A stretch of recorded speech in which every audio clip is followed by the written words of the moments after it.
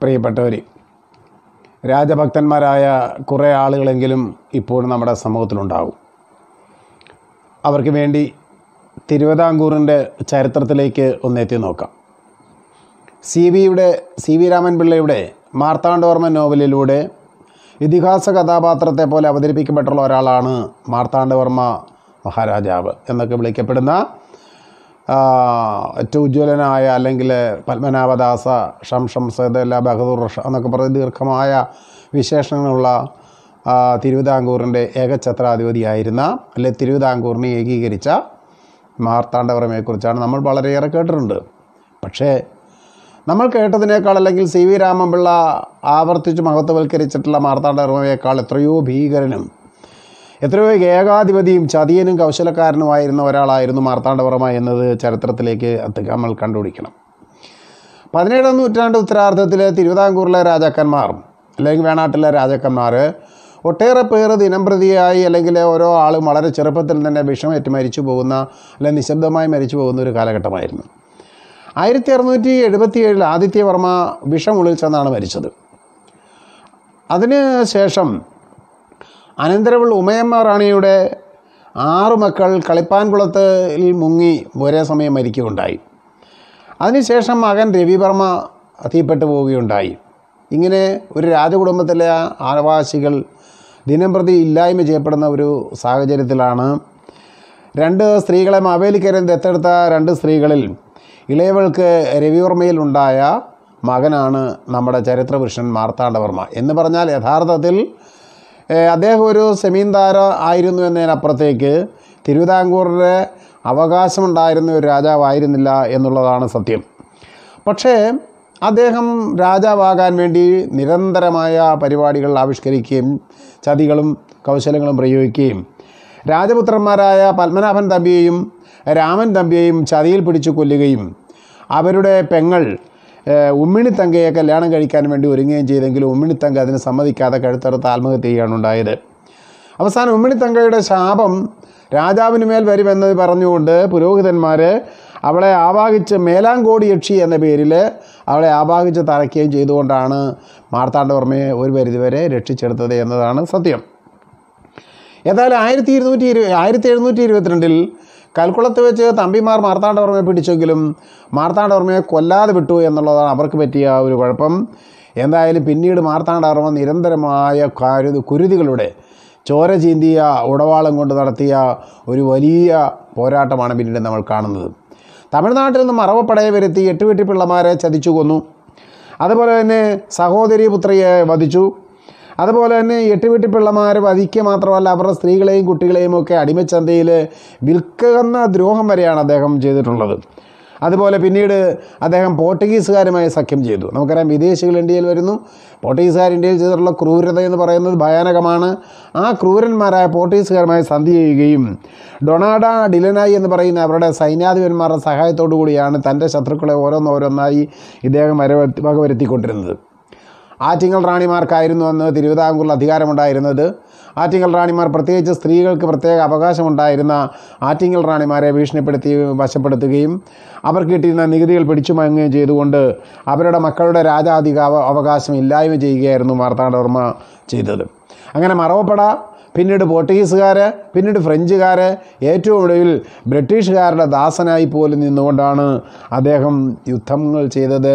ടിപ്പുവിനെ തോൽപ്പിക്കാൻ ബ്രിട്ടീഷുകാരുടെ ഔദാര്യം പറ്റുകയും അതേ തുടർന്ന് അവരുടെ തന്നെ ഒരു അടിമയായി മാറുകയും ചെയ്തയാളായിരുന്നു വേണാട്ട് രാജാവ് എന്നുള്ളതാണ്. അല്ലെങ്കിൽ തിരുവിതാംകൂറിന്റെ രാജാവായി വാഴ്ത്തപ്പെടുന്ന മാർത്താണ്ഡവർമ്മ എന്നുള്ളത് മനസ്സിലാക്കണം. എന്നാൽ മാർത്താണ്ഡവർമ്മ വളരെ വലിയൊരു കൗശലം പിന്നെയും പ്രയോഗിച്ചു. ആ കൗശലം എന്തായിരുന്നു അറിയാവോ? അദ്ദേഹത്തിന്റെ രാജാധികാരത്തെ ദൈവത്തിന് മുന്നിൽ സമർപ്പിച്ചു എന്നുള്ളതാണ്.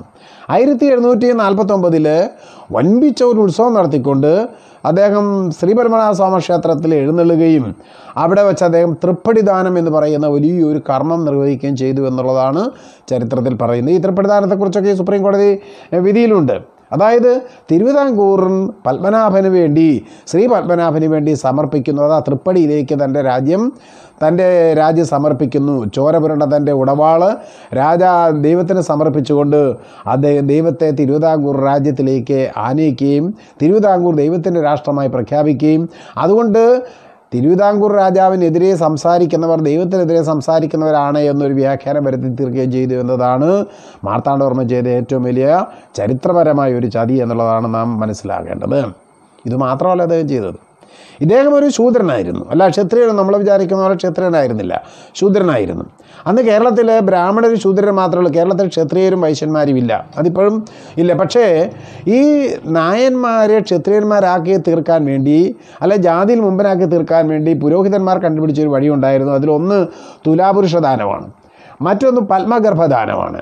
മൂന്നാമത്തേതാണ് ഹിരണ്യ ഗർഭദാനം എന്ന് പറഞ്ഞാൽ സ്വർണം കൊണ്ട് വലിയൊരു പശുവിനെ ഉണ്ടാക്കി വെച്ച് ആ പശുവിന്റെ വായിലൂടെ കയറി പുറകിലൂടെ ഇറങ്ങി വരുമ്പോൾ രാജാവ് അല്ലെങ്കിൽ ശൂദ്രൻ ക്ഷത്രിയനായിട്ട് മാറും.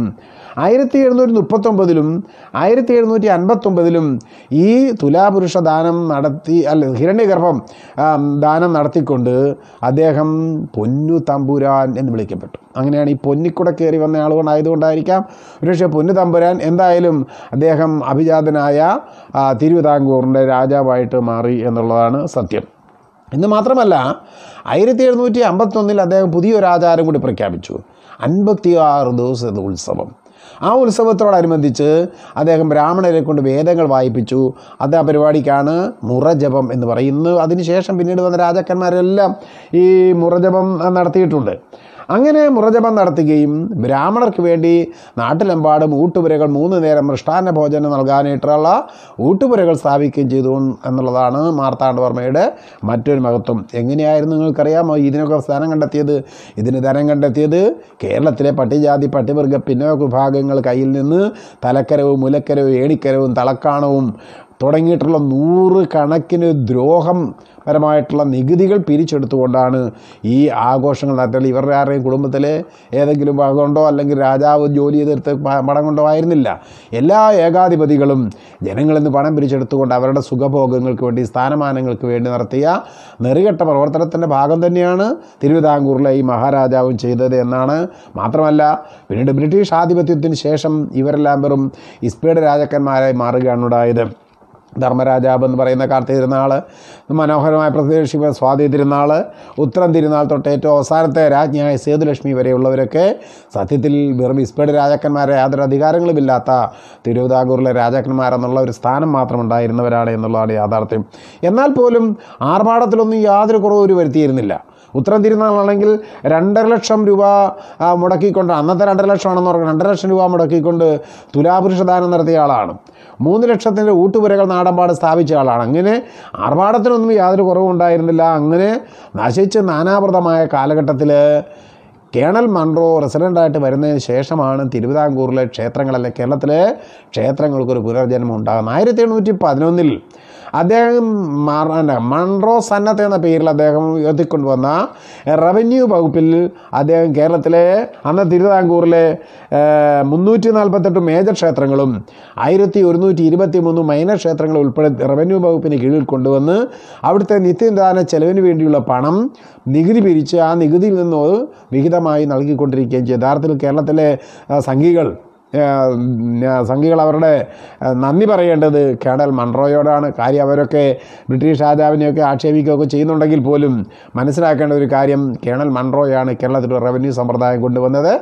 ഈ കളക്ടർ എന്ന പേര് വരുന്നതെങ്ങനെയാണ് നിങ്ങൾക്കറിയാം. കളക്ടർ എന്ന പേര് വരുന്നത് നികുതി പിരിക്കുന്നയാളായിരുന്നു കളക്ടർ എന്ന് പറഞ്ഞത്. പിന്നീട് അത് വലിയൊരു സ്ഥാനമായ ജില്ലാ ഭരണാധികാരിയൊക്കെ മാറിയെങ്കിലും റവന്യൂ ഡിപ്പാർട്ട്മെന്റ് ഉണ്ടാക്കുകയും അതിൽ കനം തീരുവകൾ നിശ്ചയിക്കുകയും തുടങ്ങിയിട്ടുള്ള നിരവധിയായ പ്രവൃത്തികൾക്ക് നേതൃത്വം കൊടുത്തത് കേണൽ മൺറോയാണ്. ആ കേണൽ മൺറോയാണ് യഥാർത്ഥത്തിൽ കേരളത്തിലെ ക്ഷേത്രങ്ങളെ രക്ഷിച്ചത്. അല്ല രാജാക്കന്മാരൊക്കെ ഈ ക്ഷേത്രങ്ങളെ നശിപ്പിക്കാനും അതിന്റെ അതിലെ മുതലുകളെടുത്ത് ആർഭാട ജീവിതം നയിക്കാനും മാത്രമേ ശ്രമിച്ചിരുന്നു എന്നുള്ളതാണ് മനസ്സിലാക്കേണ്ടത്. അങ്ങനെയുള്ള രാജാക്കന്മാരാണ് ഇന്ന് കേരളത്തിൽ ക്ഷേത്രത്തിന്റെ അധികാരത്തിന് വേണ്ടി അവകാശത്തിന് വേണ്ടി അങ്ങേയറ്റം വരെയുള്ള കോടതി വരെ പോയി എന്നുള്ളത് നാം മനസ്സിലാക്കേണ്ടത്. ആയിരത്തി തൊള്ളായിരത്തി എഴുപത്തൊന്നിൽ ശ്രീമതി ഇന്ദിരാഗാന്ധി രാജാക്കന്മാർക്കുള്ള പ്രിവീപ്പേഴ്സ് പേഴ്സ് അവർക്ക് നൽകിയിരുന്ന രാജാവ് നൽകിയിരുന്ന ആനുകൂല്യങ്ങൾ നിർത്തലാക്കുകയും അതിനുശേഷം ചിത്ര തിരുനാൾ ആയിരത്തി എണ്ണൂറ്റി ആയിരത്തി തൊള്ളായിരത്തി തൊണ്ണൂറ്റൊന്ന് വരെ ക്ഷേത്രത്തിന്റെ അധികാരിയായി തുടരുകയൊക്കെ ചെയ്തിട്ടുണ്ടെങ്കിലും അദ്ദേഹം അതിന്റെ മക അനിയൻ അനുജൻ അതായത് ചിത്ര തിരുനാളിന് ശേഷം വന്ന അദ്ദേഹത്തിന്റെ അനുജൻ താൻ സ്വയം മഹാരാജാവാണെന്ന് പ്രഖ്യാപിച്ചു. കാരണം ആയിരത്തി തൊള്ളായിരത്തി എഴുപത്തൊന്നിലൂടെ പ്രിവി പേഴ്സുകൾ നിർത്തലാക്കുമ്പോൾ രാജാവ് വെറും ഒരു സാധാരണ മനുഷ്യനായിട്ട് മാത്രം മാറുകയാണ്. ആ പക്ഷേ ഈ ചിത്ര തിരുനാളിന്റെ അനുജൻ താനെന്തോ മഹാനാണ് എന്ന് പ്രഖ്യാപിച്ചുകൊണ്ട് അദ്ദേഹം രണ്ടായിരത്തി ഏഴിൽ ഈ തിരുവനന്തപുരം പത്മനാഭസ്വാമി ക്ഷേത്രത്തിലെ അറകളുടെ ഫോട്ടോ എടുക്കുകയും ആ നിധിയുടെ അവകാശം ഉന്നയിക്കുകയും ചെയ്തു. എന്നാൽ അതേ തുടർന്ന് കേരളത്തിൽ അല്ലെങ്കിൽ തിരുവനന്തപുരം കോടതികളിൽ നിരവധി കേസുകൾ ക്ഷേത്രത്തെ സംബന്ധിച്ചുണ്ടായെങ്കിലും പ്രധാനപ്പെട്ട കേസ് രണ്ടായിരത്തി പതിനൊന്നിൽ ഹൈക്കോടതിയിലേക്ക് എത്തിയ കേസാണ്. ആയിരത്തി തൊള്ളായിരത്തി മുപ്പത്തി ഒന്നിൽ ഒരു രാജാവ് അറയിൽ കടന്ന് ബി അറയിൽ ഇന്ന് നമ്മൾ സപ്രാപൂജ എന്നൊക്കെ പറഞ്ഞ ബി അറയിൽ കടന്ന് കുറേ അധികം സ്വർണം കടത്തിക്കൊണ്ട് പോയി എന്നൊക്കെ ഈ രണ്ടായിരത്തി പതിനൊന്നിലെ ഹൈക്കോടതി വിധിയിൽ വളരെ കൃത്യമായിട്ട് വന്നിട്ടുണ്ടായിരുന്നു. എന്തായാലും അതിനു മുമ്പ് നാം മനസ്സിലാക്കേണ്ടത് ഈ തിരുവിതാംകൂർ ക്ഷേത്രത്തിന്റെ ഒരു ഉൽപ്പത്തിയെ സംബന്ധിച്ചാണ്. ഉൽപ്പത്തി കൃത്യമായിട്ട് അറിയില്ല. നമ്മളെല്ലാ കഥകളും പറയുന്ന പോലെ തന്നെ പരശുരാമനാണ് ഇതെല്ലാം ഉണ്ടാക്കിയത് എന്നൊക്കെയാണ് പറയുന്നത്. സത്യം പറഞ്ഞാൽ അങ്ങനെയാണെന്ന് രാജാവിനല്ല പരശുരാമനാണ് ഇതിന്റെ അധികാരം കൊടുക്കേണ്ടത്. എന്തായാലും ഈ ക്ഷേത്രം പുതുക്കി പണിതത് മാർത്താണ്ഡവർമ്മയാണ് എന്നുള്ളത് സത്യമാണ്. നാലായിരം വിദഗ്ധ തൊഴിലാളികളെയും ആറായിരം പണിക്കാരെയും നൂറ് ആനകളെയും തമിഴ്നാട്ടിൽ നിന്ന് കൊണ്ടുവന്നാണ് അദ്ദേഹം ഏതാണ്ട് ദീർഘകാലം കൊണ്ടാണ് ഈ ക്ഷേത്രം പണിതത് എന്നും ആയിരത്തി എഴുന്നൂറ്റി മുപ്പത്തൊന്നിലാണ് പുനഃപ്രതിഷ്ഠ സ്ഥാപിച്ചത് എന്നും മുമ്പേ പറഞ്ഞ പോലെ ആയിരത്തി എഴുന്നൂറ്റി നാൽപ്പത്തൊമ്പതിൽ തിരുപ്പതിദാനം നടത്തിക്കൊണ്ടാണ് ഇതിന്റെ അധികാരിയായി ഇതിന്റെ ഉടമസ്ഥനായി അല്ലെങ്കിൽ തിരുവിതാംകൂർ രാജാവാണ് ശ്രീ പത്മനാഭസ്വാമി ക്ഷേത്രത്തിന്റെ ഉടമസ്ഥൻ എന്നുള്ള രീതിയിലേക്ക് കാര്യങ്ങൾ എത്തുന്നത് ഈ ആയിരത്തി എഴുന്നൂറ്റി മുപ്പത്തൊന്നിലെ പുനഃപ്രതിഷ്ഠയ്ക്ക് ശേഷമാണ്. അല്ലാതെ ഇതിനൊന്നും ഈ പറയുന്ന ദീർഘകാലത്തെ ആയിരക്കണക്കിന് വർഷങ്ങളുടെ പാരമ്പര്യവും പഴക്കമൊന്നുമില്ല. ഏതായാലും അന്നും ഭരണം നടത്തിക്കൊണ്ടത് എട്ടര യോഗംകാരാണ് എട്ടര യോഗം എന്ന് പറഞ്ഞാൽ എട്ട് പോറ്റിമാരും അര രാജാവും. രാജാവിനെ അരയായിട്ട് നമുക്ക് മനസ്സിലാക്കേണ്ട കാര്യം. ബ്രാഹ്മണന്റെ അരസ്ഥാനമുള്ള രാജാവിന്. അപ്പോൾ എട്ട് പോറ്റിമാരും അര രാജാവും കൂടി ചേർന്ന എട്ടരയോഗമാണ് ഇത് നടപ്പിലാക്കിക്കൊണ്ടിരുന്നുവെങ്കിലും ക്രമേണ ഇത് രാജകുടുംബത്തിന്റെ കയ്യിലേക്ക് ക്ഷേത്രത്തിന്റെ ഭരണം കടന്നു എന്നുള്ളതാണ് നാം മനസ്സിലാക്കേണ്ട ഒരു യാഥാർത്ഥ്യം. എന്തായാലും ഇതിൽ കേസിലേക്ക് വരുന്നത് ഇവിടെ പലരും പ്രചരിപ്പിക്കുന്നുള്ളൂ പ്രത്യേകിച്ച് ഇപ്പോൾ ചില ആൾ പ്രചരിപ്പിക്കുന്നുള്ളത് കേരള ഗവൺമെന്റ് കൊടുത്ത കേസാണെന്നോ ഗവൺമെന്റാണ് ഇതിനകത്തെ പ്രതി എന്നൊക്കെ രീതി പറയുന്നുണ്ട്. ചരിത്രവുമായി വസ്തുതകളുമായി യാതൊരു ബന്ധവുമില്ലാത്ത കാര്യമാണ്. ഈ കേസ് കൊടുക്കാനുള്ള കാരണം മുൻ ഐ പി എസ് ഇന്റലിജൻസ് ഓഫീസറായിരുന്ന പ്രത്യേകിച്ച് ഇന്ദിരാഗാന്ധിയുടെ കൂടെ വർക്ക് ചെയ്തിട്ടുള്ള ടി പി സുന്ദരരാജൻ എന്ന് പറയുന്ന ആൾ അദ്ദേഹം കുറേ കാലം സുപ്രീം കോടതിയിൽ റിട്ടയർ ചെയ്ത ശേഷം സുപ്രീം കോടതിയിൽ പ്രാക്ടീസ് ചെയ്താണ്. അതിന് ശേഷം തിരുവനന്തപുരത്ത് വരികയും പലമനാഭ ക്ഷേത്രത്തിൽ അദ്ദേഹം താമസിക്കുകയും അതിലെ അഗ്രഹാരത്തിന് അതിനടുത്ത് അഗ്രഹാരത്തിൽ താമസിക്കുക അദ്ദേഹം ഈ ക്ഷേത്രത്തെ അഴിമതിയും കൊള്ളയും പിടിച്ചുപറിയും എല്ലാം കണ്ട് സഹി കെട്ടിട്ടോ. മാന്തരപൂർ പട്ട പട്ടണ പട്ടണമായിരുന്ന അദ്ദേഹം ബ്രാഹ്മണനായിരുന്ന അദ്ദേഹം എന്ത് ചെയ്തു ചോദിച്ചാൽ അദ്ദേഹം ഹൈക്കോടതി കേസ് കൊടുത്തു. അദ്ദേഹം കൊടുത്ത കേസ് വളരെ കൃത്യമായിട്ട് എന്താ പറയുന്നത്? ഇത് ക്ഷേത്രഭരണം സർക്കാർ ഏറ്റെടുക്കണം എന്നതായിരുന്നു അദ്ദേഹത്തിന്റെ ആവശ്യം. പക്ഷേ എന്തായാലും കേസ് കൊടുത്ത് അധികം കഴിയുന്നതിന് മുമ്പ് അദ്ദേഹം മരിച്ചുപോയി. അഗ്രഹാരത്തിൽ ദിവസം രാവിലെ മരിച്ചു കിടന്നു. മരണത്തെ സംബന്ധിച്ച് ഒത്തിരി ദുരൂഹതകളൊക്കെ പറയുന്നുണ്ട്. എന്തായാലും സുന്ദരരാജന്റെ എപ്പിസോഡ് അവിടെ കഴിയുന്നു. രണ്ടായിരത്തി പതിനൊന്നിൽ കേരള ഹൈക്കോടതി വളരെ കൃത്യമായ ഒരു വിധി ഇതിന്മേൽ പ്രഖ്യാപിച്ചു. ഇന്ന് സുപ്രീം കോടതി പ്രഖ്യാപിച്ചിരിക്കുന്ന വിധിയേക്കാൾ എത്രയോ മനോഹരമായ ജനാധിപത്യപരമായ ആധികാരികമായ ഒരു വിധിയായിരുന്നു ഹൈക്കോടതി നൽകിയത്. അദ്ദേഹം അതിൽ പ്രധാനമായിട്ട് എടുത്ത് പറഞ്ഞത് ആയിരത്തി എഴുന്നൂറ്റി തൊള്ളായിരത്തി എഴുപത്തൊന്നിൽ പ്രിവി പേഴ്സൺ നിർത്തലാക്കിയതോടുകൂടി രാജാവിന് ഇതിന്മേൽ യാതൊരു അവകാശമില്ല രാജാവ് ഒരു സ്പീഡ് രാജാവായി പോയതുകൊണ്ട് രാജാവിന്റെ അധികാരം പോയി എന്നും. അപ്പോൾ അതുകൊണ്ട് ഈ സ്വത്ത് ക്ഷേത്രത്തിന്റെ അവകാശം ഗവൺമെന്റിനാണ് എന്നും പ്രഖ്യാപിച്ചുവെങ്കിൽ അതിൽ പേടിച്ചേരേണ്ട ഉത്രാടം തിരുനാൾ നേരെ സുപ്രീം കോടതിയിൽ പോയി. സുപ്രീം കോടതിയിൽ അദ്ദേഹം കൊടുത്ത കേസാണ് ഇപ്പോൾ വിധി വന്നിരിക്കുന്നത്. യഥാർത്ഥത്തിൽ കേരളത്തിലെ ഗവൺമെന്റ് ഇതിന് വിധിക്ക് പോയിട്ടില്ല. മറിച്ച് സുപ്രീം കോടതി ആവശ്യപ്പെട്ടതനുസരിച്ചിട്ട് ഒരു അഫിഡവിറ്റ് കൊടുത്തു എന്നുള്ളതൊരു യാഥാർത്ഥ്യമാണ്. എന്തായാലും രണ്ടായിരത്തി പന്ത്രണ്ടിൽ ഈ കേസ് ഏറ്റെടുത്തതിന് ശേഷം രണ്ടായിരത്തി പന്ത്രണ്ടിൽ സുപ്രീം കോടതി ഗോപാൽ സുബ്രഹ്മണ്യത്തെ സുപ്രീം കോടതിയിൽ ഏറ്റവും ഉന്നതനായ ആ, വക്കീലന്മാരുള്ള ഒരാളായിരുന്ന ഗോപാൽ സുബ്രഹ്മണ്യത്തെ അമിക്കസ് ക്യൂരിയായി. അമിക്കസ് ക്യൂരി എന്ന് പറഞ്ഞാൽ കോടതി തന്നെയാണ്. കോടതിയുടെ പകരം കാര്യങ്ങൾ അന്വേഷിക്കാൻ പോകുന്നയാൾ അമിക്കസ് ക്യൂരി. അമിക്കസ് ക്യൂരിയെ നിയമിക്കുകയും അദ്ദേഹം ഏതാണ്ട് ഒരു വർഷത്തിലേറെ കാലം തിരുവനന്തപുരത്ത് വന്ന് താമസിച്ചു പഠനങ്ങളും അന്വേഷണങ്ങളും നടത്തിയിട്ട് അഞ്ഞൂറ്റി എഴുപത്തേഴ് പേജുള്ള ഒരു ഉജ്ജ്വലമായ റിപ്പോർട്ടാണ് സുപ്രീം കോടതിക്ക് സമർപ്പിച്ചത്. അധികാരികൾ നിരുത്തരവാദികളാണ്. പലതരം അക്കൗണ്ടുകളുണ്ട്. പല ട്രസ്റ്റുകൾ പണം ദുരുപയോഗം ചെയ്യുന്നുണ്ട്. ഇൻകം ടാക്സ് രേഖകൾ കാണാനില്ല. അതുകൊണ്ട് ഇതിൽ മഹാദുരിതമാണെന്ന് മാത്രമല്ല അദ്ദേഹം കണ്ടെത്തിയ മറ്റൊരു കാര്യം. എ മുതൽ എഫ് വരെയുള്ള ആറ് അറകൾ മാത്രമല്ല ജി എച്ച് എന്ന് പറയുന്ന രണ്ട് ചെറിയ അറകൾ കൂടിയുണ്ട്.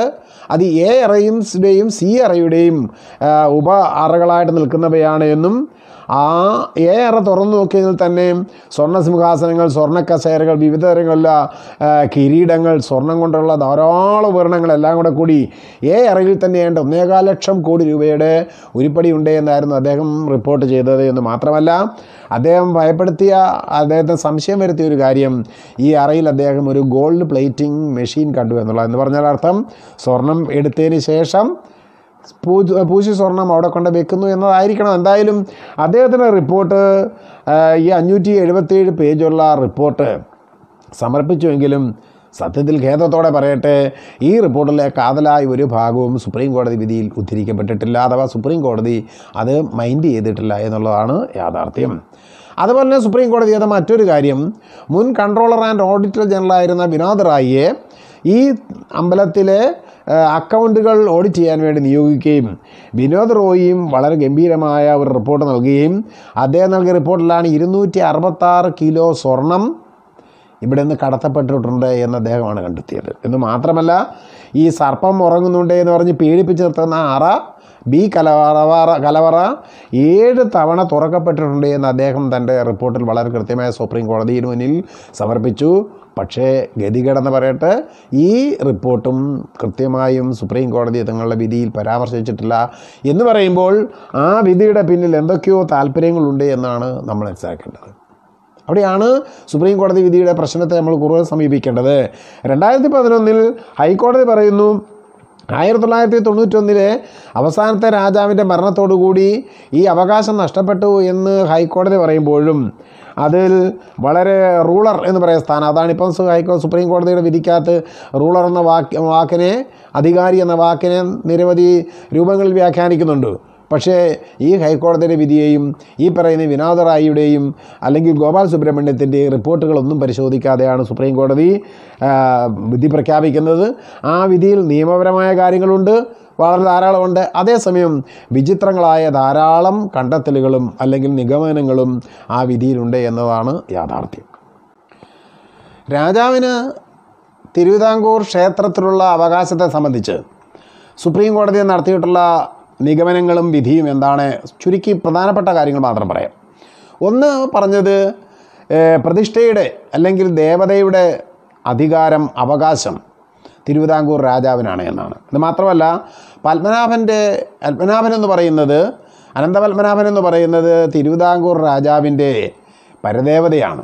നമ്മുടെ നിയമത്തിൽ ഡേറ്റി എന്നൊരു പ്രയോഗമുണ്ട്. ഡേറ്റിയുടെ എന്ന് പറയുന്നത് മൈനറാണ് ഡേറ്റിക്ക് ഒരു ഉടമസ്ഥനുണ്ടാകും. ആ ഒരു വശം വെച്ചാണ് രാജാവിന് ഈ പത്മനാഭനല്ല അനന്ത പത്മനാഭനിലുള്ള അവകാശത്തെ ഒന്നാമതായിട്ട് ചൂണ്ടിക്കാണിക്കുന്നത്. രണ്ടാമത് മുമ്പേ ഞാൻ പറഞ്ഞ തൃപ്പടി ദാനം. തൃപ്പടി ദാനത്തിനൊരു വാല്യൂ കൽപ്പിച്ചു സുപ്രീം കോടതി എന്നുള്ളതാണ്.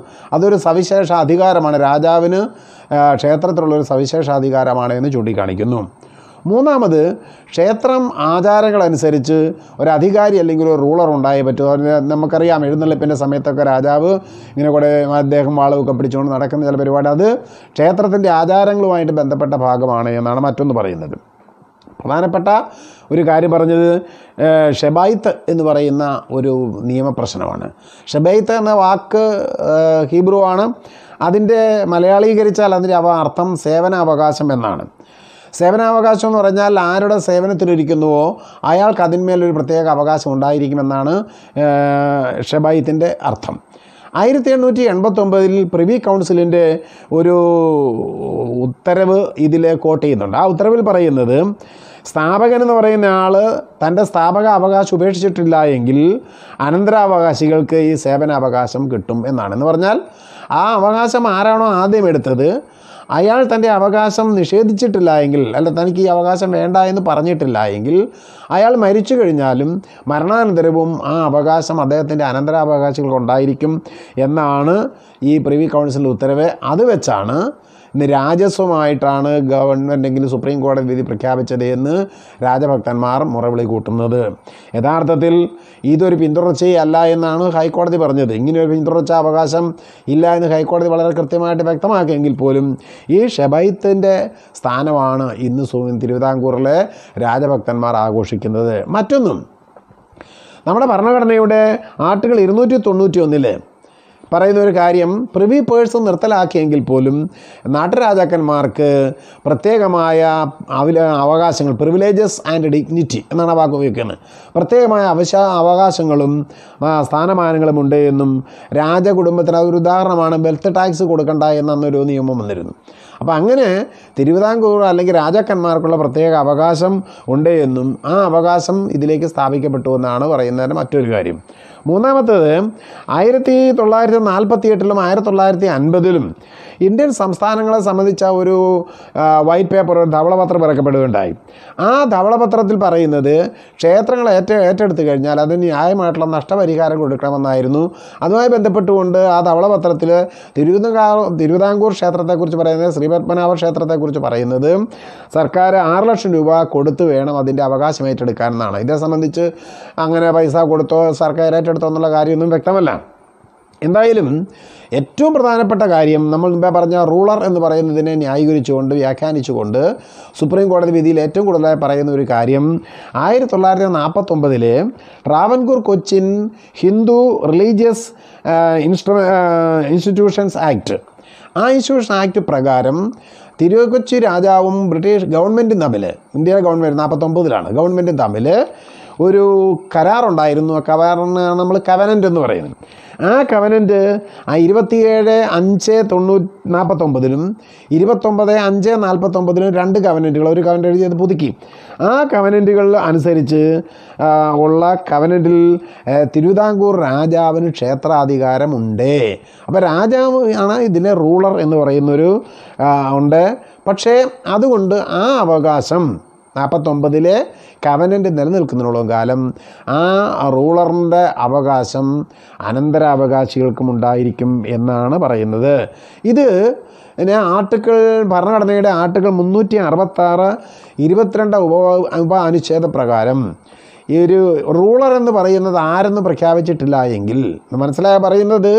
റൂളർ എന്ന് പറയുന്നത് ആരാണ് എന്ന് കവനന്റിൽ വ്യാഖ്യാനിച്ചിട്ടില്ല എങ്കിൽ ആ വ്യാഖ്യാനിച്ചിട്ട് ഇന്ന ആളായിരിക്കും റൂളർ എന്നും അയാളുടെ അനന്തരാവകാശികൾക്ക് അതിന്മേൽ അവകാശമുണ്ടായിരിക്കുന്നതാണ് ആർട്ടിക്കിൾ മുന്നൂറ്റി അറുപത്താറ് ഇരുപത്തിരണ്ടാം ഉപവകുപ്പ് പറയുന്നത്. അവൻ പറഞ്ഞു വന്നത് ഈ റൂളർ സ്ഥാനം യഥാർത്ഥത്തിൽ അംഗീകരിക്കപ്പെട്ടു എന്നുള്ളതാണ് ഈ വിധിയായിട്ട് ബന്ധപ്പെട്ട ഒരു പ്രധാനപ്പെട്ട കാര്യവും. അങ്ങനെയാണ് രാജകുടുംബത്തിന് ഇതിന്മേൽ അവകാശമുണ്ട് എന്നുള്ള രീതിയിൽ നിന്ന് നമ്മുടെ പത്രമാധ്യമങ്ങൾ കൊട്ടിഘോഷിക്കുകയും ചെയ്യുന്നത്.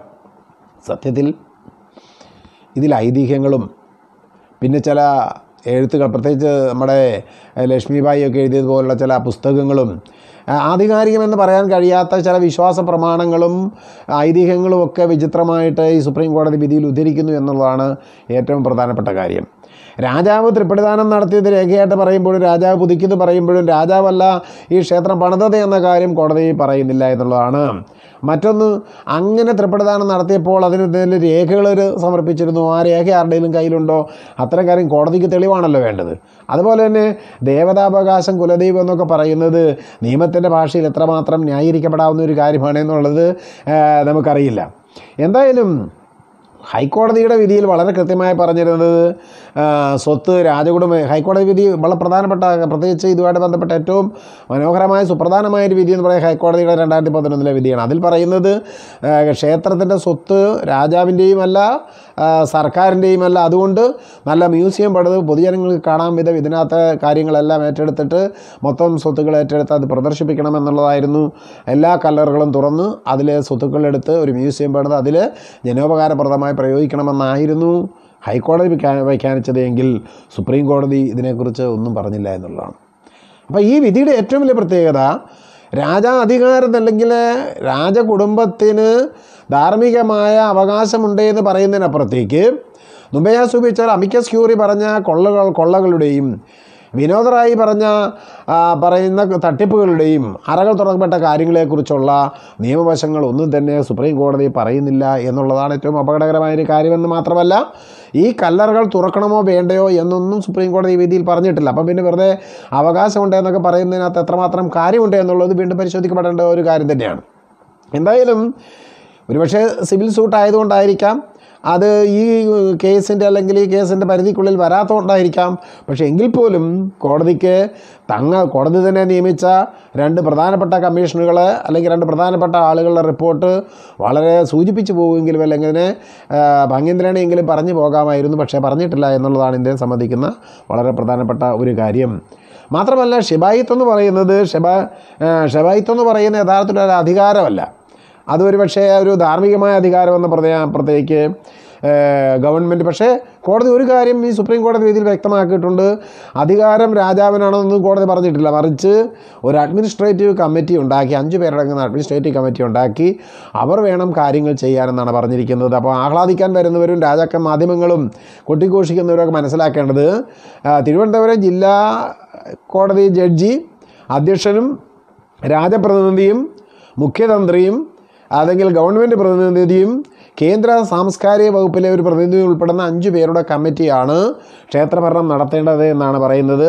അതിൽ ആചാരങ്ങളുടെ കാര്യങ്ങൾ തന്ത്രി പറയുന്നതനുസരിച്ച് ചെയ്യുകയും സ്വത്ത് സൂക്ഷിക്കൽ അതുപോലെ വരവ് ചെലവ് കണനോക്ക് കണക്ക് നോക്കലുകൾ സെക്യൂരിറ്റി പ്രശ്നങ്ങൾ അതുപോലെയുള്ള മറ്റ് ക്ഷേത്രത്തിന്റെ ദൈനംദിന കാര്യങ്ങളെല്ലാം നോക്കുവാനുള്ള ഉത്തരവാദിത്വം ഈ അഡ്മിനിസ്ട്രേറ്റീവ് കമ്മിറ്റിക്കുണ്ട് എന്നാണ് പറയുന്നത് എന്ന് മാത്രമല്ല അതിൽ രാജകുടുംബത്തിന് നേരെ നീളുന്ന ഒരു പ്രധാനപ്പെട്ട പ്രശ്നം ഇരുപത്തിയഞ്ച് വർഷത്തെ കണക്കുകൾ ഓഡിറ്റ് ചെയ്യപ്പെട്ടിട്ടില്ല. ആ കണക്കുകൾ വളരെ കൃത്യമായി ഓഡിറ്റ് ചെയ്യണമെന്ന് കോടതി ഇതിനകത്ത് ചൂണ്ടിക്കാണിച്ചിട്ടുണ്ട്. ഇത് മാത്രമല്ല ഇനി മുതൽ എല്ലാ വർഷവും കണക്കുകൾ ഓഡിറ്റ് ചെയ്ത് ബാലൻസ് ഷീറ്റ് സഹിതം സമർപ്പിക്കേണ്ടതുണ്ട് എന്നും പറഞ്ഞിരിക്കുന്നു. അപ്പോൾ ഫലത്തിൽ ഈ സുപ്രീം കോടതി വിധിയുടെ നമുക്ക് മനസ്സിലാക്കുന്നൊരു കാര്യം വഞ്ചി തിരുനക്കരെ തന്നെയാണെന്നാണ്. എന്ന് പറഞ്ഞാൽ കാര്യമായ ഒരു അധികാര കൈമാറ്റത്തിന്റെയോ പ്രശ്നം ഉണ്ടാവുന്നില്ല. ഇപ്പോഴും പത്മനാഭ ക്ഷേത്രത്തിന്റെ കാര്യങ്ങൾ നോക്കുന്നതിന് അഡ്മിനിസ്ട്രേറ്റീവ് കമ്മിറ്റിയുണ്ട് ഓരോ കമ്മിറ്റിയല്ല നിരവധി കമ്മിറ്റികളുണ്ട് അഡ്വൈസറി കൗൺസിലുണ്ട് ആ കമ്മിറ്റികളൊക്കെ ഒരു നാല് മാസത്തേക്കൂടെ പ്രവർത്തിക്കണം. ഈ ഡിസംബറോടുകൂടി ഈ പറഞ്ഞ കോടതി വിധി നടപ്പിലാക്കിയിട്ട് കാര്യങ്ങൾ റിപ്പോർട്ട് ചെയ്യണമെന്നൊക്കെയാണ് പറയുന്നത്. എന്തായാലും നമുക്ക് മനസ്സിലാവുന്ന ഒരു കാര്യം. നമ്മുടെ കോടതികൾ എടുക്കുന്ന പല കാര്യങ്ങളും നിയമ ചട്ടങ്ങൾക്ക് അപ്പുറത്തേക്ക് വിശ്വാസങ്ങളിലും ആചാരങ്ങളും അനുസരിച്ചുള്ള കാര്യങ്ങളിലേക്ക് കോടതി പോകുന്നത് എത്രമാത്രം ശരിയായിരിക്കുമെന്നും. ഒരു കോടതി വിധി വന്നാൽ അതിന്റെ വസ്തുതകൾ എന്താണെന്ന് മനസ്സിലാക്കാതെ നമ്മുടെ മാധ്യമങ്ങളും നമ്മുടെ സോഷ്യൽ മീഡിയയും അത് വെച്ച് ആഹ്ലാദിക്കുന്നതും രാജസ്വം എന്നൊക്കെ എഴുതി രാജാവിന്റെ സ്വത്താണ് എന്നൊക്കെ എഴുതി മാതൃഭൂമിയെപ്പോലുള്ള പത്രങ്ങൾ ആഘോഷിക്കുന്നത് വളരെ മ്ലേച്ഛകരമായ അപഹാസ്യമായ നിലപാടുകളാണ് എന്ന് പറയാതിരിക്കാൻ കഴിയില്ല. എന്തായാലും തിരുവനന്തപുരത്തെ സംബന്ധിച്ച് അല്ലെങ്കിൽ പത്മനാഭ ക്ഷേത്രത്തെ സംബന്ധിച്ച് വഞ്ചി ഇപ്പോഴും തിരുനക്കര തന്നെ നിൽക്കുന്നുവോ എന്ന സംശയമാണ് സുപ്രീം കോടതി വിധി പ്രഖ്യാപിക്കുന്നതെന്ന് മനസ്സിലാക്കുന്നത്. എന്നാൽ ഹൈക്കോടതി വിധി വളരെ കൃത്യമായിരുന്നു. വളരെ സ്പെസിഫിക് ആയിട്ടുള്ള നിർദ്ദേശങ്ങളും ഒക്കെ ഉണ്ടായിരുന്നുവെങ്കിൽ ആ വിധി ഇതോടുകൂടി അസ്ഥിരപ്പെടുന്നു എന്നതാണ് മനസ്സിലാക്കേണ്ടത്. യു യു യു ലളിതും ഇന്ദു മൽഹോത്രയും ഉള്ള ബെഞ്ച് നടത്തിയിരിക്കുന്ന ഈ വിധി പ്രഖ്യാപനം എന്തായാലും നിയമചരിത്രത്തിലെ വലിയൊരു നാഴികക്കല്ലാണ് എന്ന് പറയാൻ കഴിയില്ല. വളരെ കൃത്യതയില്ലാത്ത അല്ലെങ്കിൽ വ്യക്തമല്ലാത്ത ഒരു ഈ പ്രഖ്യാപനമാണ് എന്ന് പറയേണ്ടി വരും എന്നത് വളരെ സങ്കടകരമാണ്. എന്തായാലും ഇതിന്റെ സത്യാവസ്ഥകൾ ഈ വിധിയെ കുറേ കൂടി വിശാലമായി പഠിച്ചുകൊണ്ട് അത്തരം സത്യാവസ്ഥകളിലേക്ക് നമുക്ക് എത്തിച്ചേരേണ്ടതുണ്ട്. നന്ദി.